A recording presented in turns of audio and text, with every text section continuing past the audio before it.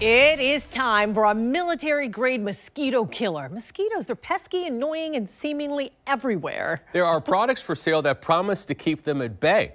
News4JAX consumer investigator Lauren Verno is joining us now with one device that was made for the military, and it's about to be available for everyone. I know. I've got the hot ticket item around the station. Everyone keeps trying to steal it because it's not actually out on the market yet. So this is mine, everyone. So this is the device. It's called the Inzecto, and it hits store shelves within the next year. Now, I know what you're thinking. It doesn't look like there's much to it. That's the point. It was created for the military, requested as something even a Marine could break, well, couldn't break. Before it's available to everyone, I got a chance to try it out. And I want to point out, I quite literally sacrificed my own skin for this story. I will try just about anything for a story, but this one was, well, not one of my favorites. There Quite the smell. Quite the smell. Anytime you have large numbers of animals, you're going to have odors. This is Dr. Philip Koehler with UF's World Ranked Entomology Lab. These are probably three to five days old. Dr. Koehler has worked with mosquitoes for more than 50 years and has dozens of patents to his name. His resume impressive enough, the U.S. military contacted him and his team to create a device to keep mosquitoes away while troops are overseas. And we wanted something that, that even a Marine could use and not break uh, when they're out deployed in some of these uh, rural, rural situations. Unlike most devices on the market, the Inzecto does not give off any chemicals. Instead, it uses new technology to attract and trap the mosquitoes simply by filling it with water. So, how does it work? So, the idea would be to put this in a shady area uh, usually under a shrub or, or a place where mosquitoes are resting.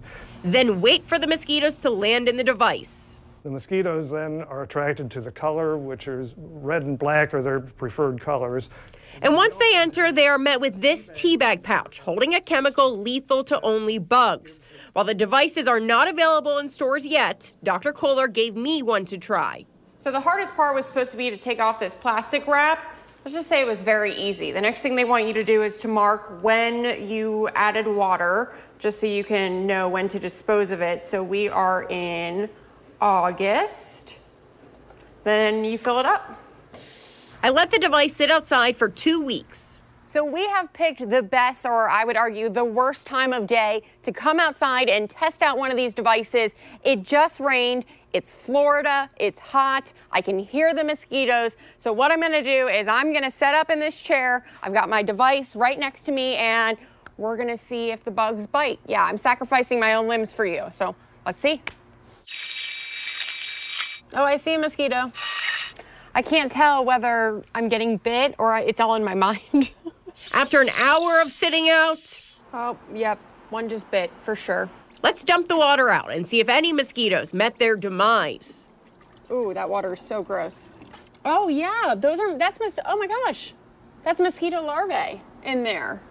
You can see them swimming around. That's definitely mosquito larvae. And the good news for us about the mosquitoes that fly in there? Then they die as a result of contact, or they lay their eggs and their larvae die as a result of living in water that is uh, that's treated. Each of these swimming future mosquitoes won't make it as far as this bowl. There isn't another product like this on the market. And the best part no chemicals spring into your backyard.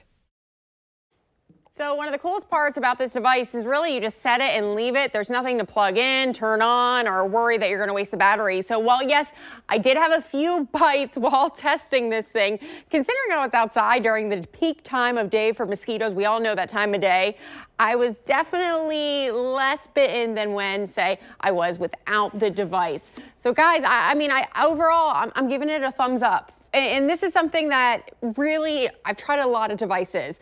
This was just so easy. I'm all about easy. You guys have kids, you don't have time for anything, and then you forget to turn things off.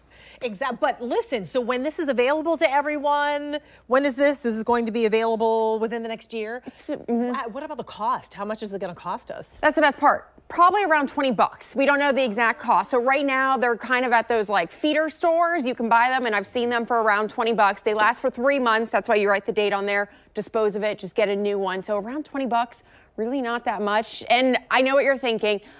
I want one of these now no, this is mine, but I am testing out other devices. So tomorrow on the morning show, it's our as seen on social media test from different ads that popped up in your social media feeds promising to keep, keep mosquitoes away. I brought these devices to Dr. Koehler's lab and his mosquitoes and tested them. And there was one device that Dr. Koehler said worked so well, he wouldn't let me try it out on his mosquitoes because he knew they would die. And this man is very good at his job. So watch our As Seen on social media tests and results tomorrow at 8 a.m. on The Morning Show. Lauren, thank you.